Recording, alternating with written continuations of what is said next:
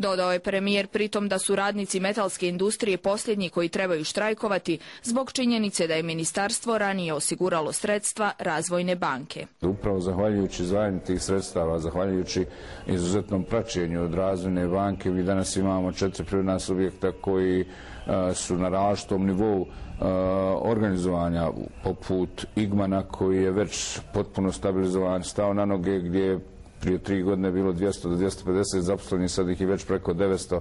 Problem za sve radnike možda će riješiti najavljene mjere vlade. Pripremamo zakon, razgovaramo na tu temu.